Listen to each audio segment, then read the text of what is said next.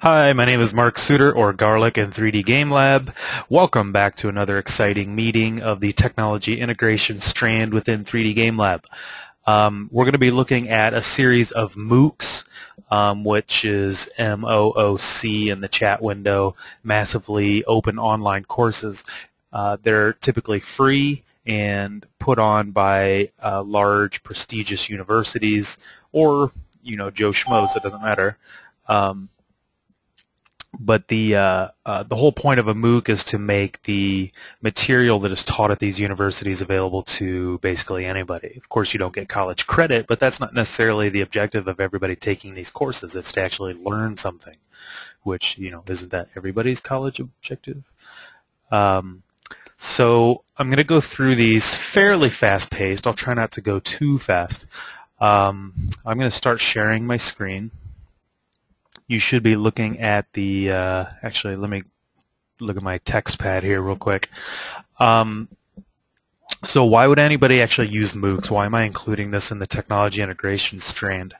Um, number one, teacher refresher. A lot of topics that um, I know you guys teach or um, high school, college, even middle school, you might need a refresher on the content or another way to teach the same content. Maybe you understand biology really well, but maybe your students aren't getting good grades and you're not sure why. So it might give you a good idea or a new resource, uh, a new method, teaching method on how to, you know, instruct your students and uh, help them. That's the uh, ultimate goal of technology integration in the first place, right, is to help your students.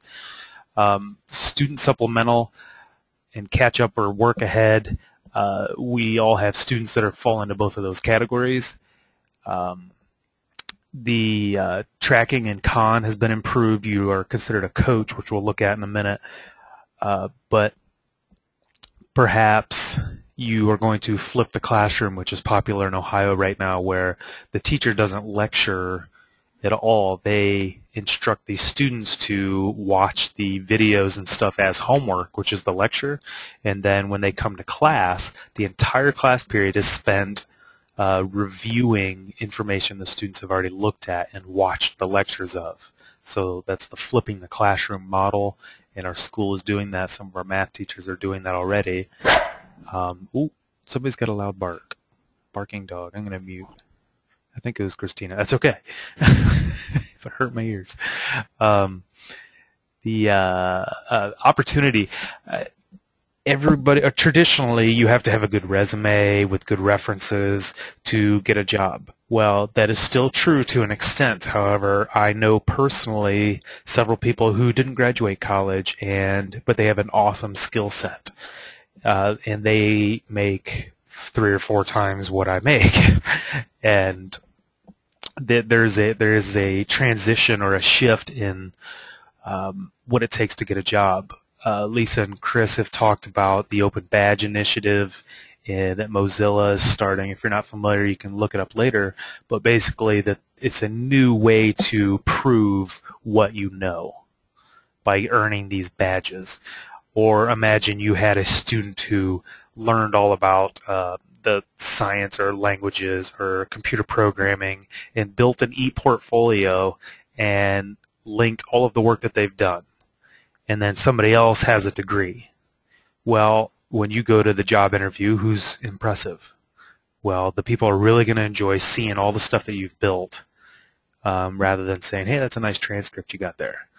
Now, that's, that's a little oversimplified. I understand that. Um, so don't send me hate mail. But under all I want you to understand is that there is a shift. It is possible to uh, use these in the classroom um, for a lot of different reasons.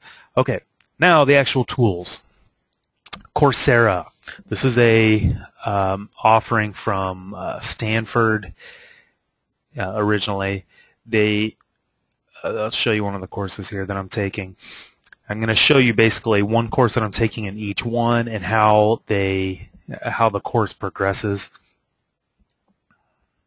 Uh, I'm taking Internet History, Technology, and Security from the University of Michigan, and if we looked at the syllabus, uh, it would just go through the actual topics, but I want to show you how the actual instruction looks.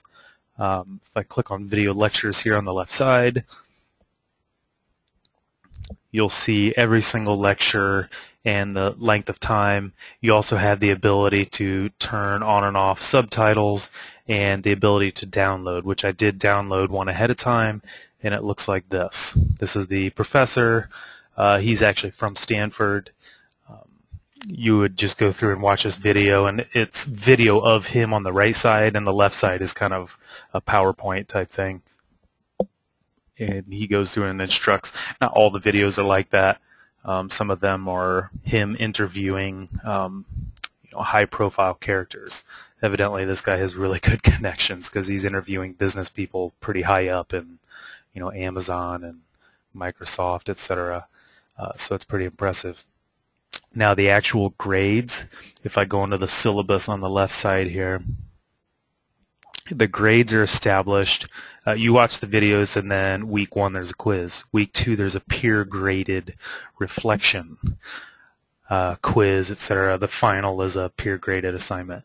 Now the reason there's peer graded is uh, there's 60,000 students or so in this class, so you could imagine trying to grade that. Even an auto grading, which some of the other ones do, is possible, but they do a peer grading, and that looks like this. Peer grading. You this first one, the assignment was. Uh, oh, let me go to the assignment.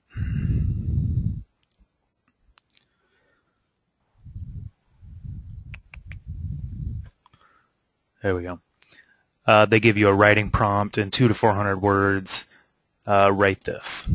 You, they do not take points off for structural mistakes, grammar, punctuation. Then after you've turned that in, you have to go in and grade someone else's using this rubric. They give you a um, answer from somebody else, and you go through and you evaluate it and give them feedback at the bottom, um, constructive suggestions, etc., etc. So it's a neat model, instructional model. I did not do that assignment, so I am not allowed to evaluate my classmates. I was not a good student in this one. And this guy actually sends emails out to us and lets us know how many people are in the class, how many people uh, uh, completed the first peer graded assignment and dropped the class, and et cetera. So they communicate really well. You get a certificate if you uh, get a passing grade in this class, which you, um, I think they mail it to you, that one. Uh, the next tool, Udacity. This is this is my favorite of the MOOC providers. Um, they're a little limited on what the courses that they offer are. Um, I'll show you the intro to statistics. They only have. Oh, what I find out? Doesn't say. Much fewer, less than 20 classes. Um, in the statistics class, the reason I like this, it has this auto next thing that you watch this video, which is basically a guy writing on a Wacom tablet. And then they tell you to type in the answer, which I'll highlight here. Got to use the cool little tools, right? You would type in your answer there, submit, and then if you get it right, you uh, move on. If you don't, you go watch the video again until you get it, I guess.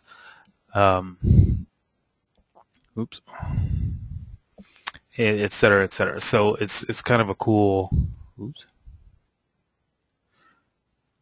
cool method for uh, checking for understanding as you progress, and it's not so chunky as in take watch all five of these videos and take a quiz. It's very incremental. Every video uh, has a question answer, question answer, question answer. So you really understand the topic because you've been evaluated the whole way through. Um, they also offer uh, sending you the certificates. Um, and I, I, just like this method. Maybe it just fits my learning style, but it's so broken down into small pieces that I don't feel like, wow, you just covered 30 different things and I understand 10 of them. Okay, they really break it down. Now I can't say that's for all the classes, but this is my sampling of these MOOCs. Um, so that's what you get. Uh, are there questions so far? I'm going to go check the chat window here. If you're watching the recording later, you don't see the chat. Um,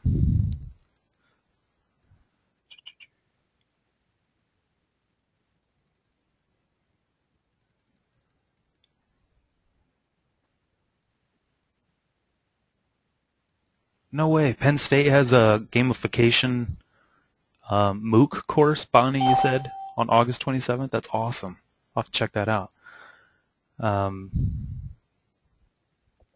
yeah, I don't know how the professors are monetarily compensated, uh, if at all, or if it's just part of their included in their workload, which they have a limited workload that they're legally or supposed to have by contract. They teach.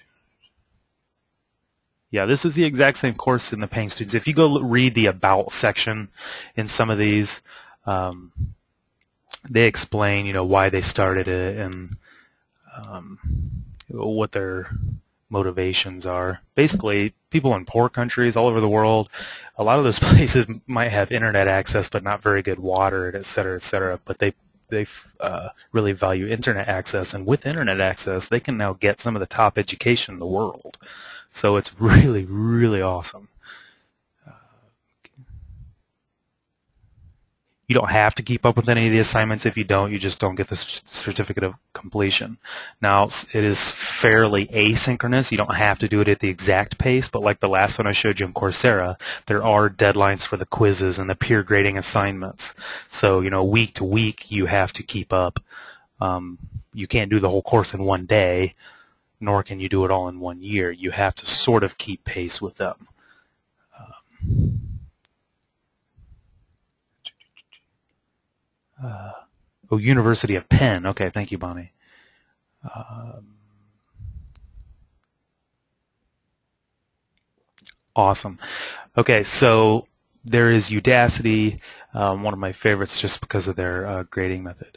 Um, now I'm going to show you Khan Academy. Many of you guys are already probably familiar with it, um, but so I'll just highlight it. I covered it in one of the other meetings. Um, Khan Academy uh, was created by a guy, uh, is it James Khan? Something Khan, that's his last name. Um, and it's all videos produced, I'm pretty sure by him. It's a massive undertaking, but they just opened up a computer science section. If you look in the sections in the watch category, I'm already logged in. Um, the sub uh, categories are massive and deep. Um, the science has healthcare and medicine even which one of the people attending tonight is in the healthcare industry. So I'll show you that one real quick just as a quick sampling. Um, let's look at blood sugar levels. Bacterial meningitis. Now, one of the um, things you should be aware of is many of the videos in all of these MOOCs are hosted on YouTube, which is why I'm doing this meeting from my house tonight instead of at school. Um, so be aware of that. Uh, as far as evaluation, some of them have, like the mathematics, if we go into the practice section, there's what's called a knowledge map, which is kind of looks like a Google map, and you basically start in the uh, corner or and start building out your skills as you go. Oops, that's not what I wanted to click on, sorry.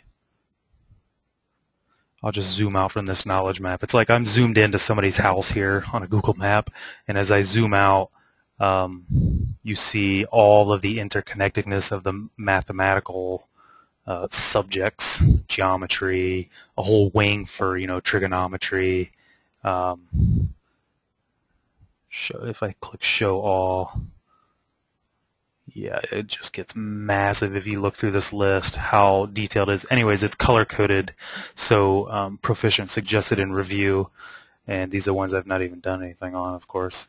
Um, but it's a great way to track your students. You can become a coach. If they sign up here, they can give you an ID, and um, you can be their coach, which basically means you can see all of their accomplishments, achievements, etc., etc. It gives you a tutorial on how to do this. Here's how I add a coach, etc., etc um, in a managed students. It, it's pretty comprehensive, but the amount of topics covered is what's really impressive about this website. I guess there's no real um, checking for understanding as you go. It's just a, a place to uh, get the the, uh, the lectures. This is what our math teacher, a couple of our math teachers are using for the Flip the Classroom and uh, it's they've had success so far. It's kind of experimental, so they're adjusting it as they go, but uh, the students seem to like it. Uh, but Khan Academy, if you've not heard of it, please take a half hour and go through some of that stuff. One of the things they're doing that relates to gamification is they, uh, as you complete uh, courses and do good things, you get energy points. Uh, there's a series of badges. Um, you can change your icon based on how many points you have. It's kind of like buying stuff from the arcade with your tickets that you've earned. Um, in my profile, this popped up since I started um, messing with the computer science one. It says show off your creativity, blah, blah, blah. Put one of your programs in your profile.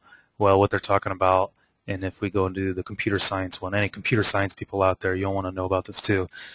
Um, if I write a program with Khan's help, of course, um, I could put that program into my profile. Now, what you should be aware of, computer science people, is that even though it looks like there's four subcategories, they're actually all uh, JavaScript.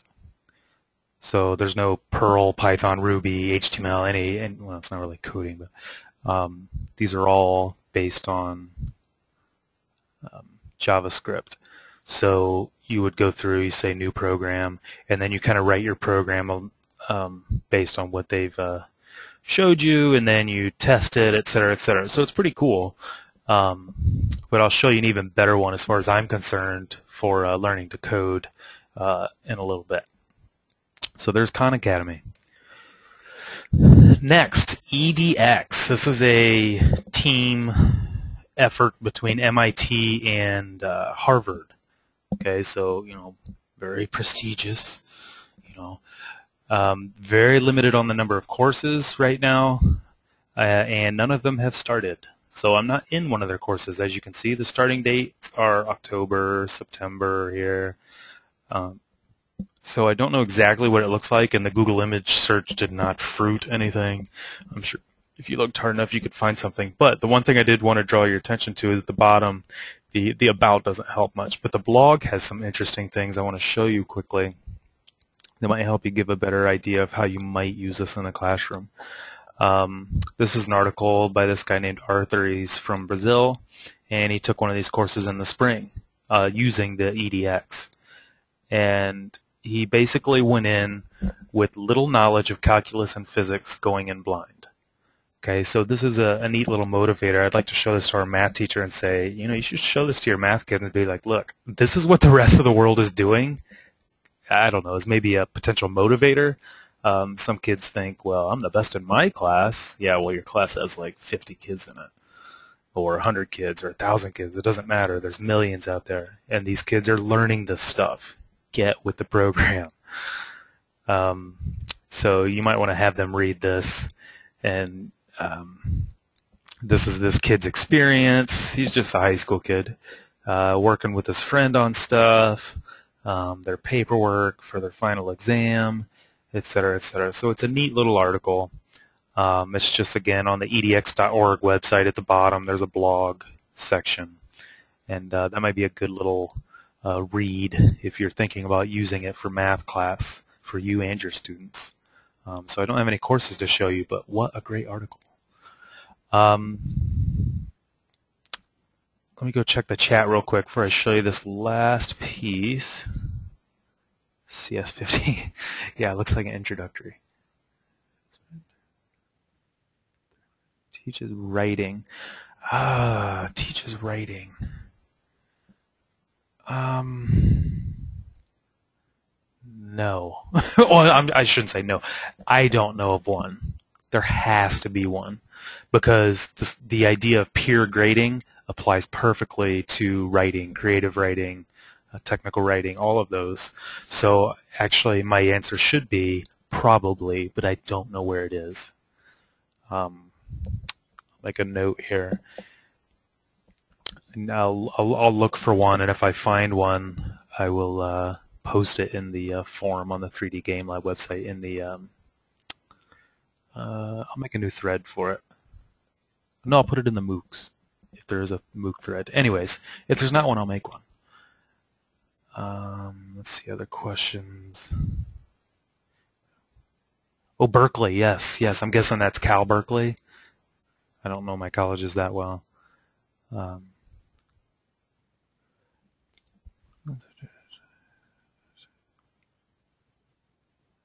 Yeah, I wish that knowledge map thing that's in the Khan Academy, I wish they would share a tool to be able to use that. I guess it's kind of like Popplet, but the the tie-in to uh, at a quick glance to know how proficient a student is in it, I guess there'd be a little bit of uh, behind-the-scenes groundwork to make that work. But how cool would that be as a tool? Um, yes, okay. UC Berkeley, right, okay. Um, that's right, I forgot. I, you're right.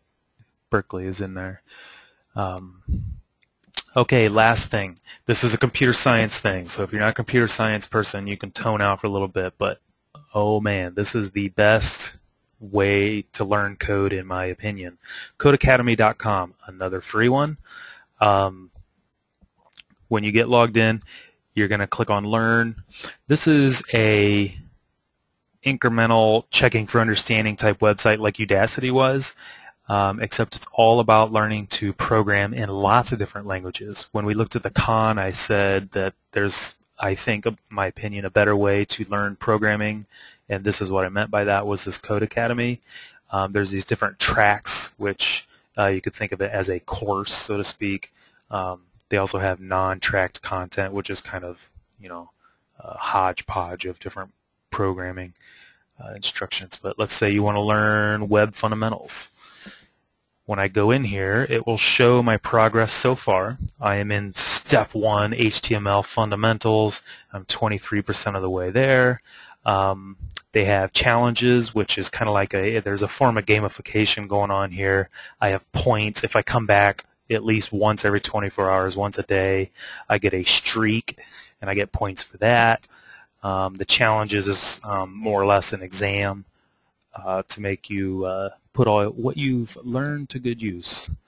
Um, even the HTML fundamental section is broken down by the topics. So I'm in the, you can see how much I've done. Ready, set, go. And each one of these is broken down even further. And it's awesome because this is how I learn and I feel like my students would also benefit from this and I'm going to integrate this heavily this semester. Um, and uh, I think I had a Codecademy quest, I'm not sure, but that's why I wanted to show it here. Um, and this is just HTML. Um, I think they had a JavaScript section. But imagine people that are going to college and their professor, let's say, doesn't do a real good job and the book has got them lost, how great would it be to just come in here and say, oh, okay, step by step, walk me through it. I prove that I know it by actually writing the code. Um, I'll go in here and show you what the actual, um, well, okay. This is the Getting Started with Programming section by one of their engineers, Langley. Um, great job. Da, da, da, calculate an operation like so you have to write in the code. Type in your name with quotes around it. Mark. Great job. And then it takes you to the next section. So it does a little um, interaction with you and then you go to the next section. Awesome stuff. Um, so those are MOOCs in a nutshell what you can look for those are the three that I have been using. I know this is going to explode further. I feel like we're just getting into this, and the big dogs have already signed on. Uh, you know, the, the Ivy Leagues and some of the bigger universities. Um, but there's this is a huge PR thing for them too. So why would they not put uh, MOOCs out there? Um, once the other universities realize, hey, you're getting a higher enrollment at your actual university now because students know about you, want to take your professor's classes because they have a or they feel like they have a relationship with them having taken their course, even though they probably never emailed or talked to them or whatever. It doesn't matter. It's that comfort level. So um, more and more colleges are going to do this. Keep an eye on MOOCs um, for your technology integration needs. Um, like I said earlier, even if you just want to do a refresher or a new way to teach the same old topic, right? How many ways can you teach trigonometry? Um, maybe this will give you some ideas for that. Um, C++, uh, I think it's an object-oriented language. I don't really know programming. Um, it's an old language, like from the 70s or 80s, but still used today, I think. I don't know. I think I got that from Wikipedia. Not really sure. Oh, here's an article on Udacity. I just got this off the Udacity website. I'll throw it in the chat window. Um, but it's a nice article about uh, how they got started and what the professors are doing and, you know, nice little article. This chat window does not expand very big. Oh, that's lovely.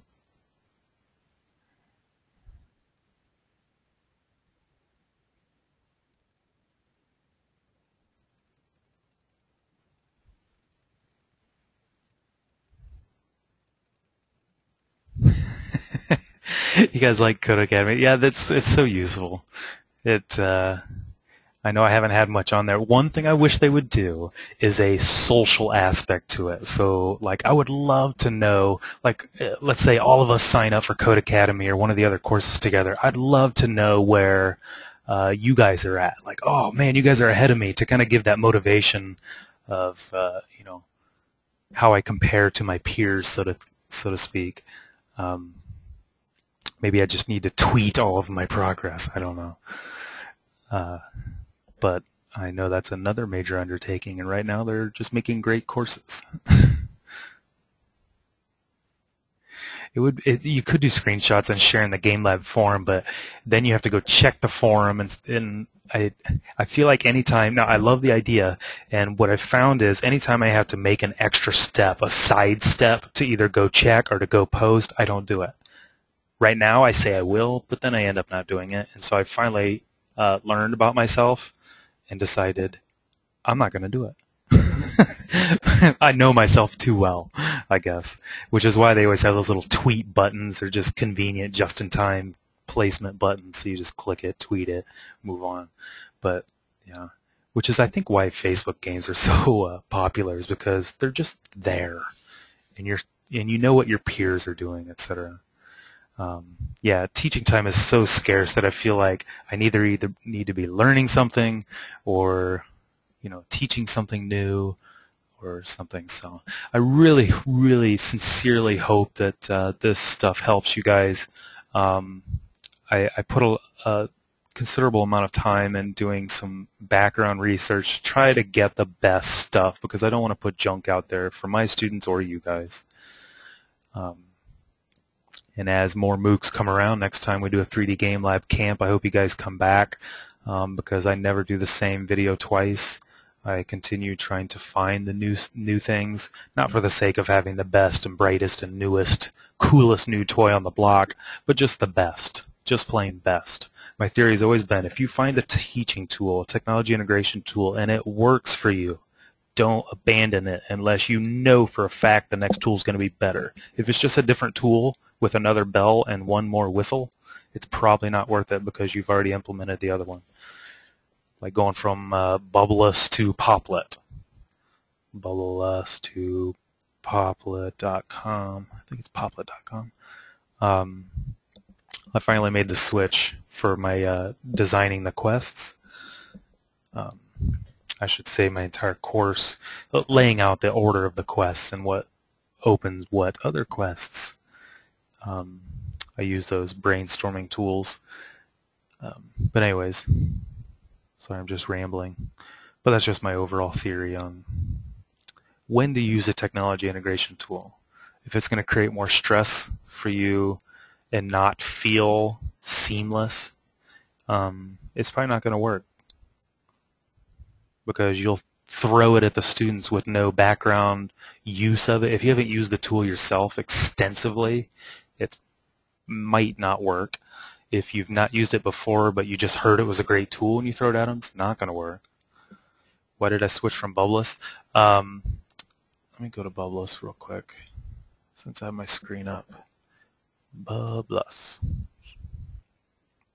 One thing was the uh, collaboration feature of Popplet.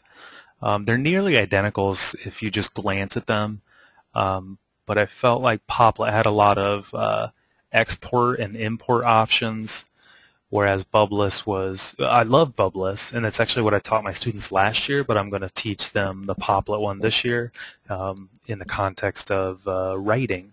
If they're going to write a story or uh, give me a, a, spider chart of how these characters relate in this book, in the Hunger Games, for instance. I mean, there's a lot of ways to use these brainstorming uh, uh tools. Uh, is, is quite easy, of course, but uh, the export options, you have JPEG and PNG, um, and that's it. Um, Popplet has several more options.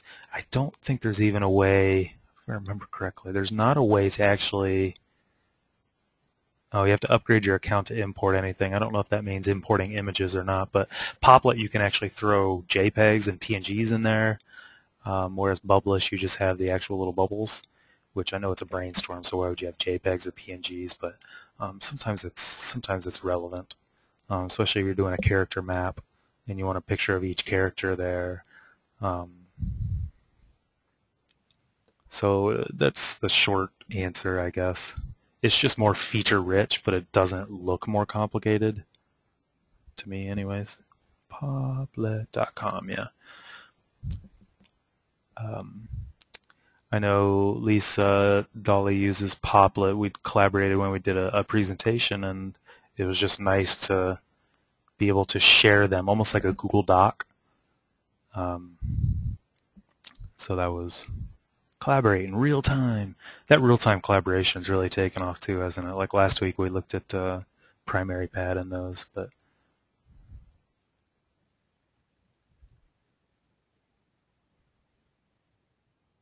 Oh no, another tool. Christina's throwing tools at me. This is how I got on Popplet. Cacoo. Alright, we'll check it out. Can you share without hang time in real time? You know? I've never heard of Cacoo, but what better time than now? Cacoo. If you're interested, I'm interested. Create diagrams online in real time.